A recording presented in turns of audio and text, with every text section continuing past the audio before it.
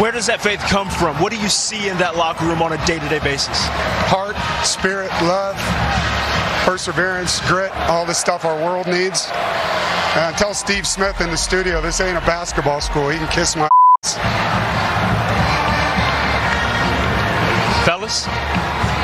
Yeah, I mean, for a guy that lives in Charlotte, he clearly has got his head faced west to Utah all the time, which you know I understand, and no disrespect to him, but he disrespected our program, and uh, I'm not going to let people do that.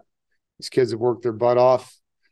Um, we've won a lot of football games here, and in my tenure, I think we're second or third in the ACC in wins in football. So you know he can take that and put it where it belongs.